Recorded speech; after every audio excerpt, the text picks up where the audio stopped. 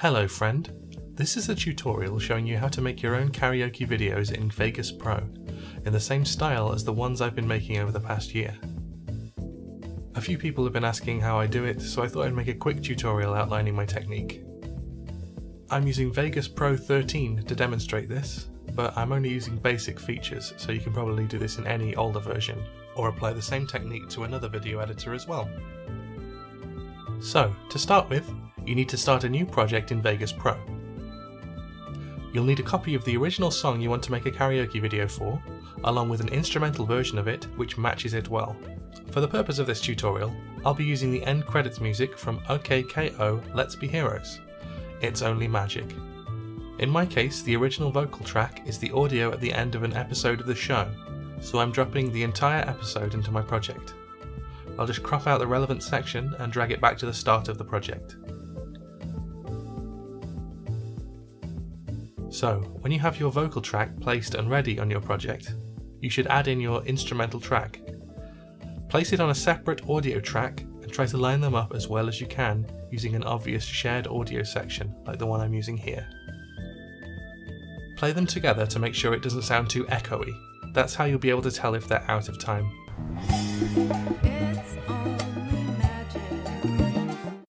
Mute the instrumental track, leaving the vocal track unmuted. Now that your audio tracks are all lined up and ready, you should add some video tracks at the top of your timeline, which will contain the actual karaoke lyrics and anything else we need. I suggest you do the following, although it's not entirely necessary that you name them like I do. Up next, Karaoke 1, Karaoke 2, Karaoke 3, and Countdown. I'll be referencing them with these names later, so it, it will help. Next, select the Project Properties button on the toolbar up here and change your project settings to the following 1920 width by 1080 height, progressive scan, square pixels, and 59.94 or 60 frames per second. Everything else is probably fine in its default setting. Finally, if your vocal track is paired with a background video, like mine is, I suggest you right click on it and go to Switches, Disable Resample. Now that the project is fully set up, we're going to start adding the karaoke lyrics. Begin by finding the starting point of the first line of the song. now go to the Media Generator section over here and select Legacy Text. Drag the default text onto your timeline at the point you just selected. Change its text to the first line of the song. Next, we need to set up the properties of the text. In this example, I'm making an OKKO karaoke video, so I choose Chivo as the font, since it's used for OKKO's credits. I like to use a relevant font like that, but if there isn't one that comes to mind for whatever you're working on, just use something that looks clear and nice.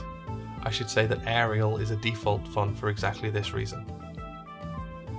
Now, go to the Placement tab and set the text placement to Center, with a safe zone of 5% you should try and make sure your text falls within the borders shown here. If the text goes outside these borders, reduce the font size.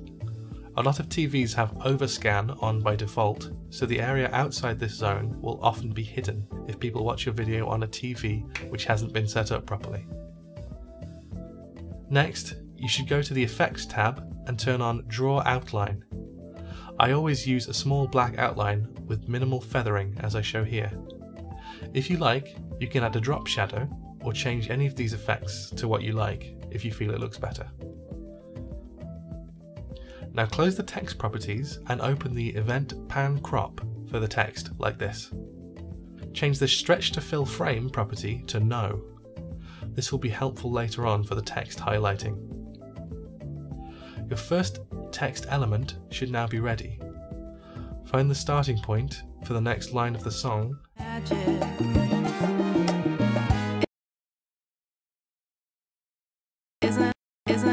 and squeeze the first line down so it ends there.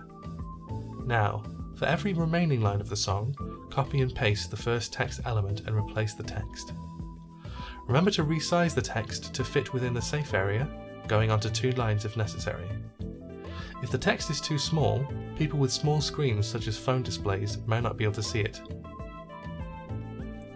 If you do go onto two lines, as shown here, go to the properties and alter the leading option so there's only a small gap between the two lines of text.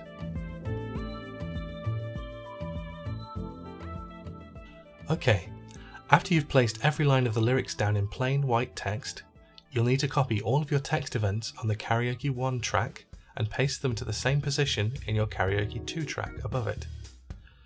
Now, click the Edit Generated Media button on each text event and change their text colours in the properties. You should use something bright, distinct from the white of the original text, and make sure the text is still legible. I generally use green unless I'm using different colours for different singers. Then I'll try to choose a colour related to each singer, or at least a distinct colour for each. After you've set all the colours, open the Event Pan Crop for the first line and click and drag the dotted box. You want to move it so its right edge is touching the left edge of the first word you're editing. So on my screen here, the box has moved so it's to the left of the word it's. Now you want to find out where the first word, or the first major syllable of the first word ends, and place your timeline cursor there.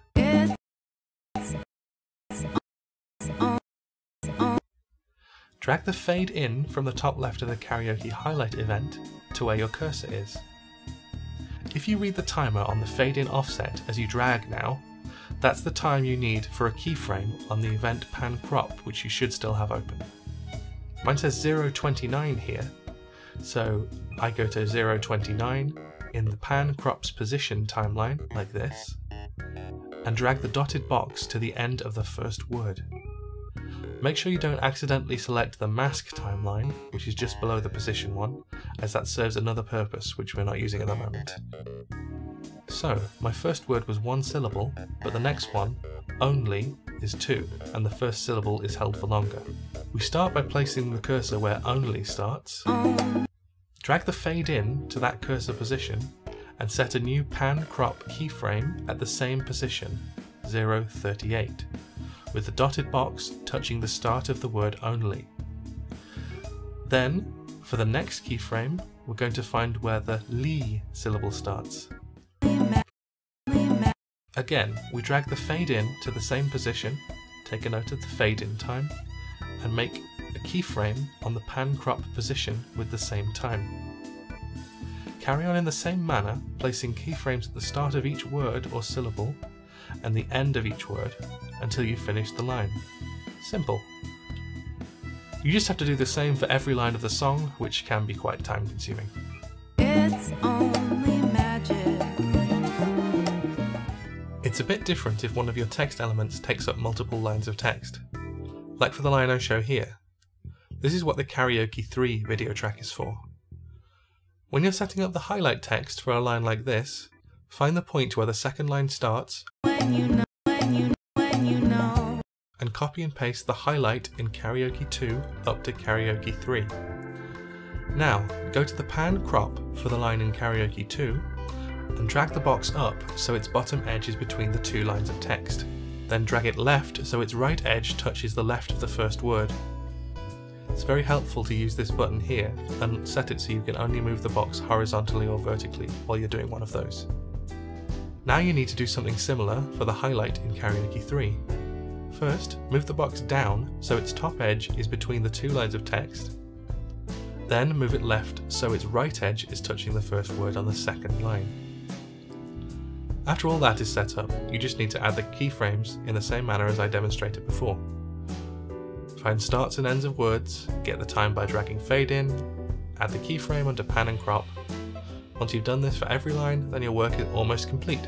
There's just a few more important prompts to show the karaoke performer. The first of those prompts is a countdown. Simply put, this tells the singer when exactly to start singing the line on screen at the start of the song, or after an instrumental interlude of more than a few seconds.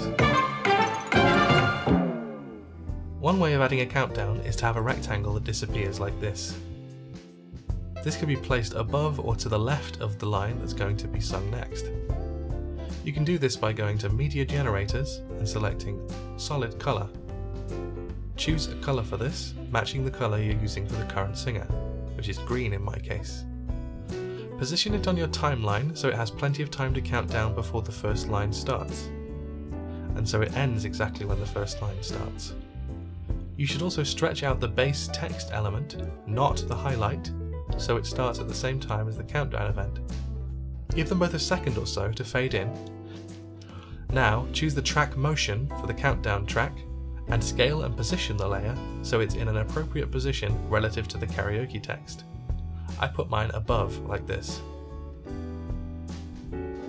Finally, drag the countdown's fade out so that it meets the end of the fade in like this.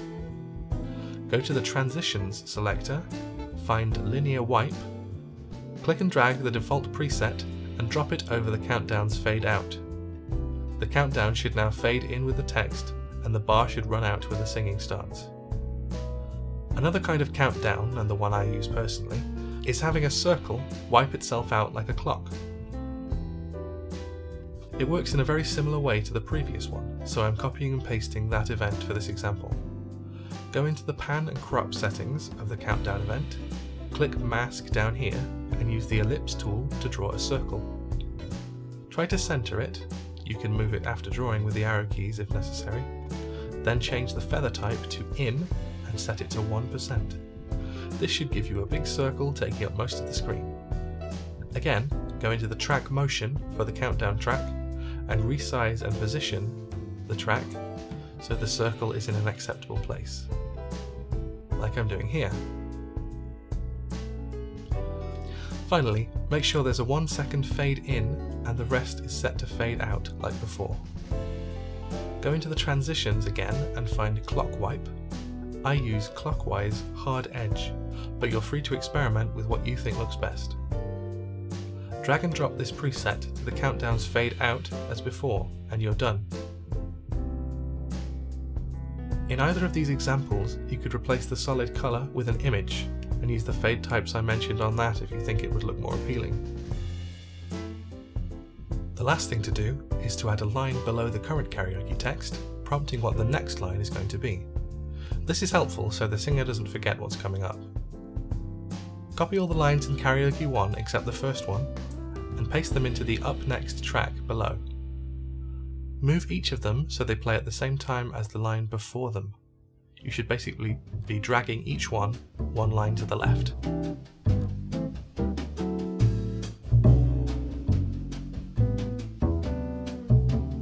Once you've done this for all the lines, go into the track motion for your up next track. Change the width and height of this track so they're smaller than normal. My project is 1920 by 1080, so I'm going for half of that, 960 by 540. Then drag the track down a bit so its text appears in the middle of the gap beneath the main karaoke text.